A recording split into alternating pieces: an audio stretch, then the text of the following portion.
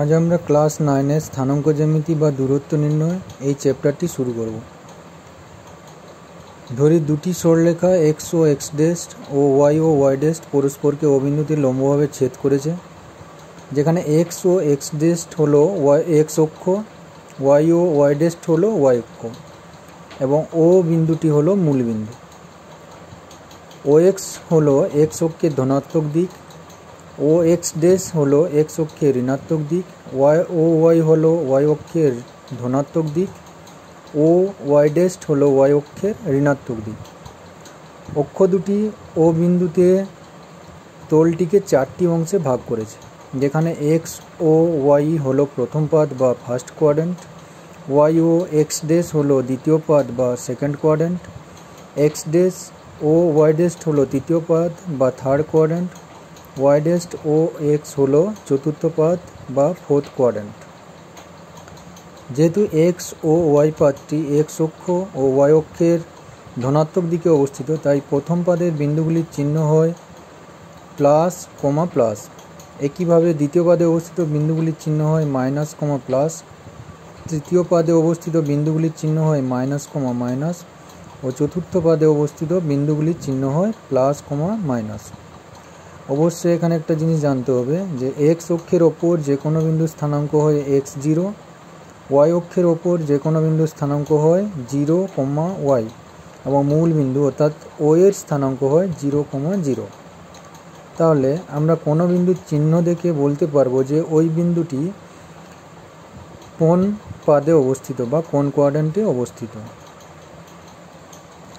যেমন ধরি একটি বিন্দু দুই কমা তিন এর ক্ষেত্রে দুটো বিন্দুর চিহ্ন ধনাত্মক।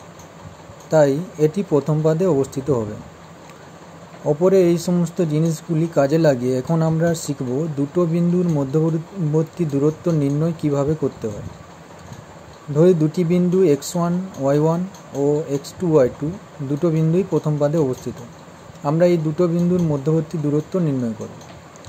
এই দুটো বিন্দুর মধ্যবর্তী দূরত্ব নির্ণয়ের সূত্রটি হলো root over X one minus X two whole square plus Y one minus Y two whole square একক। আমরা একটি উদাহরণ দিয়ে এটা ভালো করে বোঝার চেষ্টা করব। ধরি দুই কমা চার ও পাঁচ কমা সাত, এর দূরত্ব নির্ণয় করতে হবে।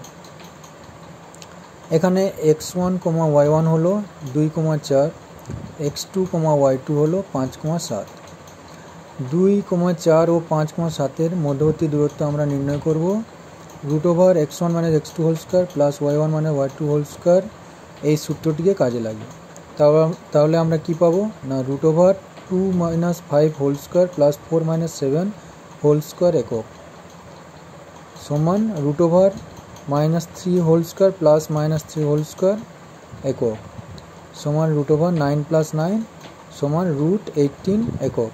এবার আমার রুট এইটিন অর্থাৎ আঠারোকে লিখতে পারি root over nine multiply two that is নয় গুণ দুই। এবার নয় যেহেতু একটি পূর্ণ সংখ্যা, তাই রুটের বাইরে আসলে তিন হয়ে বেরিয়ে আসবে। তাহলে আমরা পাবো থ্রি রুট টু একক।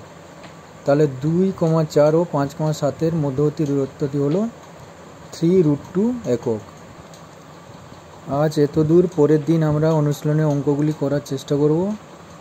ভিডিওটি ভালো লাগলে লাইক করবে ও বন্ধুদের মধ্যে শেয়ার করবে।